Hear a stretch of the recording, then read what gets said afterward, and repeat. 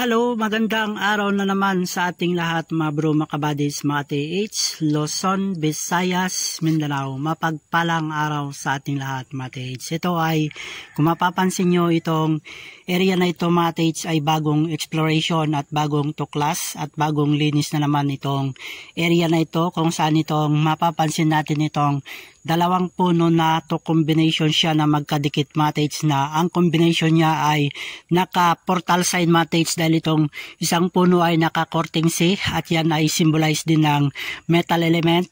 At dito naman ay symbolize ng enter sign kung saan itong coordinate niya na puno ay pakak tree at yung isang puno na naka korting C ay yan naman ay acacia tree matage na nagpapayawatig ito ng metal element or gold element dito sa area na ito kung saan makikita natin yung kanyang coordinate doon sa area sa baba yung lumang puno na alodig tree at doon sa area sa baba mates ay dyan ang umaagos na creek pag malakas ang ulan. At naging dead creek na siya mates tuwing malakas ang ulan ay dyan talaga malakas ang agos ng tubig. At ngayon dito sa dalawang puno na ito ito ang symbolize na sign marker na may nakatago dito mates at dyan ay punta pupuntahan natin dyan sa area sa baba. Dahil yung spot alignment na nakita ko ay naka-triangulation siya matage kung saan dito mismo sa gitna ng pagitan ng dalawang puno na ito plus yung isang puno dito sa area na yan matage at dyan ay puntahan natin matage at magsimula tayo doon sa 180 south patungo sa coordinate niya sa 360 north matage. Ito ang makikita natin na alignment dito sa 180 South Matage na makikita natin itong bato na ito ay meron siyang sign symbol na fire element at yung spot Matage ay nandito kung saan itong makikita natin ito ay nandito ang spot. Dahil ito Matage ay meron siyang enter sign portal doorway entrance na pinapayawatig ay nandito mismo ang spot.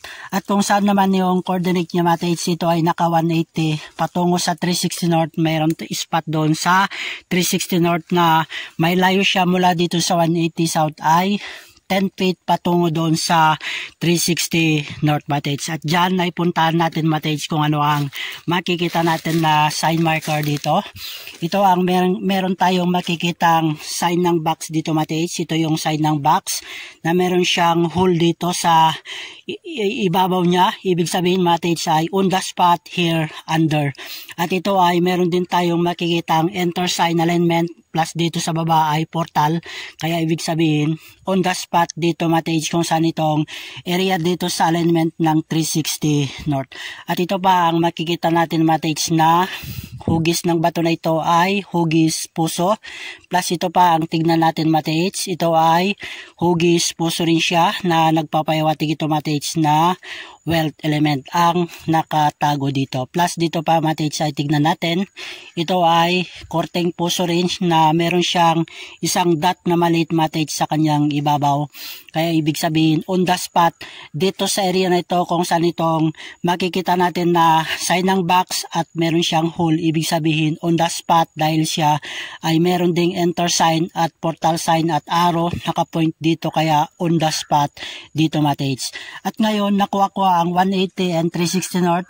Itong puno na makikita natin ito matage ay naka-alignment din siya ng 90 degrees dahil ito matage ay makikita natin na meron siyang nakaukit na hole dito or mata, matage na ito ay nakatingin sa kanyang coordinates sa 270 west na may layo siya matage mula dito. 10 feet patungo sa 270 west ay dito ang kinaroroonan ng spot deposit ng 270 west. At ito ang makikita natin na bote na luma ito matage na 2 by 2 ito ay lumang bote matage na. Ito ay Henebra San Miguelito Matates na laton din niya rin ito. At ngayon, ang kanyang ulo Matates ay nakapoint dito sa area na ito kung saan ay tinesdig natin dito. Ito ang makikita natin na hugis ng bato Matates na korteng puso at baliktarin natin korteng puso, ibig sabihin wealth deposit.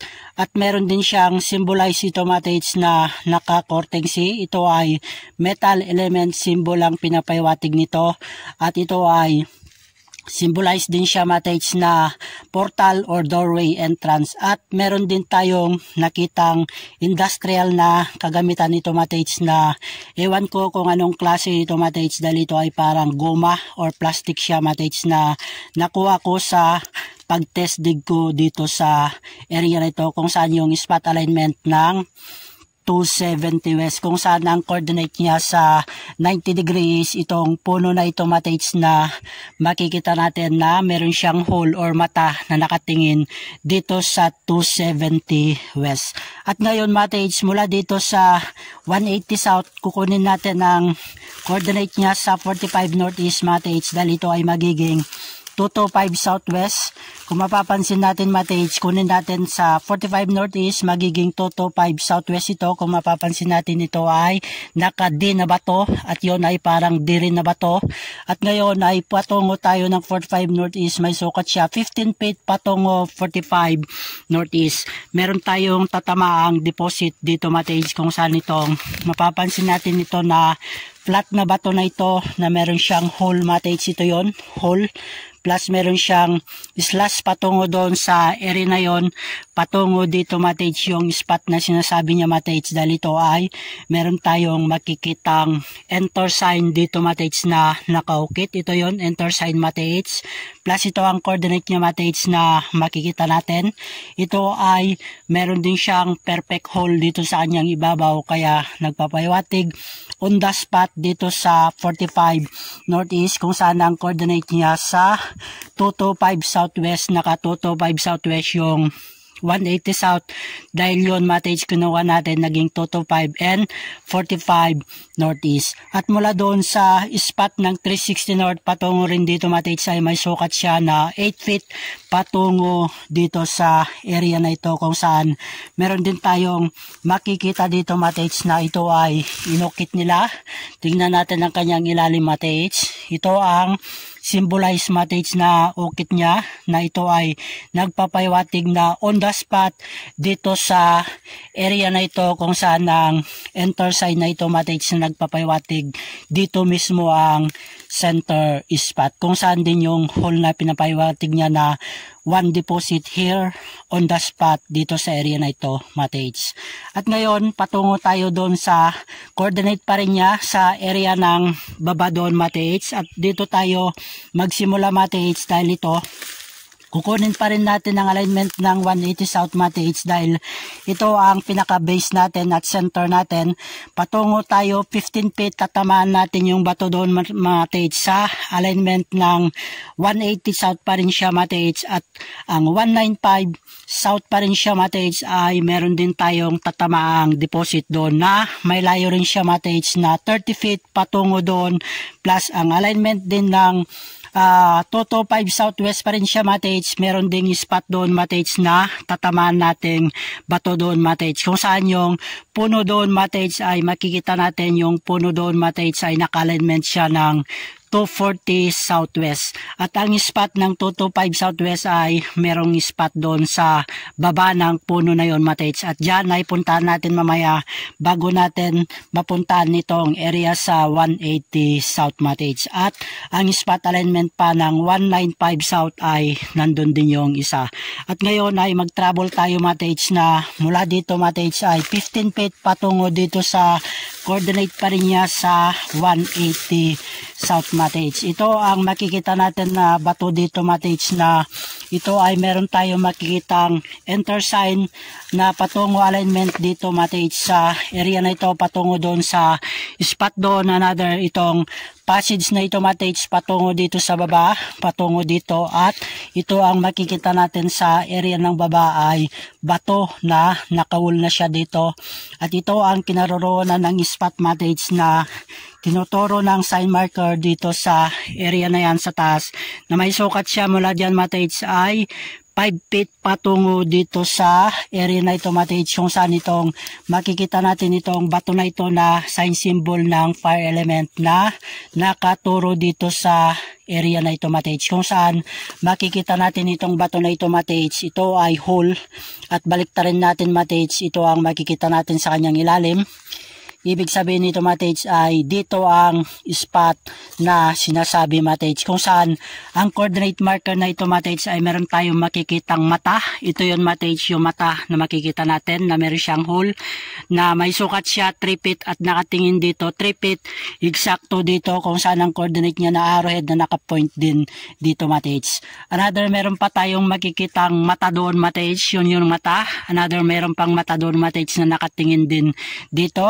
Kaya ang pinapahiwatig na spot matage ay nandito dahil dyan sa area na yan ay nakawul na siya. At yun matage ay hole na nagpapahiwatig ng deposit patungo dito sa area na ito mga tage kung saan ang spot ng 180 south coordinate niya doon sa area na yun matage ay naka-alignment din siya ng 360 and 180 south na may sukat na siya matage mula dito ay 30 feet patungo doon sa 360 north at dito ay naka-alignment ng 180 south. At ngayon matage ay ito makikita rin natin ay portal sign another portal sign din siya na nagpapayawatig ito matage na doorway entrance na ang spot ay nandito. At ngayon matage ay patungo tayo dito sa spot alignment alignment ng 195 South kung saan itong makikita natin na bato dito. Ito ang makikita natin na sign marker dito na ito ay meron siyang mata. At ang kanyang tingin matage ay ito ang kinitignan niya na bato na meron siyang itchy. Plus dito matage ay meron siyang coordinate dito na hole. Ibig sabihin itchy plus hole 1 deposit. At ito matage ay enter side nito matage connect dito sa hole. Ibig sabihin patungo ang alignment dito matage dahil ito ay meron din tayong makikitang enter sign dito plus connect siya dito matage another. Patungo dito naging enter sign ulit. Plus dito matage ay naka portal sign din siya ng papayawatig doorway entrance. At ito ngayon ang tingnan natin matage kung ano ang naka-indicate na indication sign marker dito matage ito ang makikita natin na passage patungo on the spot direct under na dito matage kung saan itong sign marker na ito ay on the spot dito matage kung saan itchy and hole ibig sabihin one deposit here direct under on the spot na dito matage dahil ito ang mga legit na sign marker matage at ang alignment dito matage ay naka-alignment ng 195 south patungo doon sa coordinate niya na may sukat siya mula doon 30 feet patungo dito matage. At ngayon, nakuha natin ng 195 patungo tayo sa 225 southwest kung saan yung puntaan natin yung bato doon kung saan yung puno doon matage ay pasyalan natin dito kung saan yung spot dito sa bato na nakita natin na tinesdid natin yung kanyang paligid matage sa alignment ng 225 southwest ito matage. Ito ang makikita natin na bato dito sa alignment ng 225 southwest kung saan yung puno na yan ay naka 240 southwest siya matage. Ito ang makikita natin na sign marker dito matage na meron siyang mata ito yung mata matage na malalim at mababaw na mata niya. Kumunik siya dito sa mas mababang mata naman naman matage na ito ay mata plus mata. Nakatingin siya point direction down. At dito ay meron tayong nakuhang hugis ng bato na ito ay hugis puso. Ibig sabihin matage ito ay wealth deposit na on the spot na dito matage kung saan ang mata na ito ay naka-point direction down under ang pinapahiwatig niya matage. Another dito sa kanyang ibabaw ay meron din siyang hole matage na itong bato na ito ay nakapabilog din siya. Nagpapahiwatig ito na center spot on the spot direct under na ito matage or ito ay treasure in front battage dahil ito ay HTM nakuha natin sa lalim na wala pang 1/4 ay lumabas na siya. At ngayon matage ay nandun pa rin ang ating benchmarker fulcrum point na pinagmulan natin sa taas kung saan yung makikita natin na benchmarker na dalawang puno na to combination siya na portal sign and enter sign na yun ay courting C nagpapayawatig ng metal element or gold element na nakatago dito sa area na ito kung saan ang kanyang coordinate dito sa area na yan ay water element din siya matage. Another, may spot pa doon matage ngunit hindi mo natin mapuntahan dahil hindi ko pa gaanong nakita kung saan yung mga positive spot na tinutukoy ng sign marker doon matage. At sa susunod na araw ay idikod ko na naman doon matage kung ano ang makikita ko na positive sign marker. At doon ay makikita natin yan ang dead creek na siya dahil wala nang ulan. Kaya naging dead creek na siya. Pag malakas ang ulan ay dyan malakas ang agos ng tubig matage. At doon sa area sa taas matage ay nandun lamang yung isa sa tinira namin. At doon sa area sa gitna matage ay yon yung pinakamalaking deposit na bunker doon matage. Napakaganda na naman yung aking na-share sa inyo dito mga bro mga kabadis matage. Dahil itong area na ito ay bagong exploration at bagong linis na naman kaya nakita ko na naman ang possible spot dito na pinapaywatig ng mga sign marker dito na simbolo na merong nakatago dito nung digmaang ikalawa. At sa lahat din ng mga tates natin dyan, Luzon, Visayas, Mindanao, ingat lang tayo palagi. At dito rin pala sa area sa uh, area ng 270 West Matage kung saan palubog na naman ang haring araw ay nandyan din yung dohat na nadikod ko na yung area dyan na Matage. Kung saan itong coordinate niya dito sa area na ito ay bagong dikod at bagong linis na naman itong area kaya natagpuan ko na kung saan yung possible spot dito sa area na ito Matage. Good luck sa ating lahat and more power to all. Abalayam guide and bless sa ating lahat, Mate H. Yada.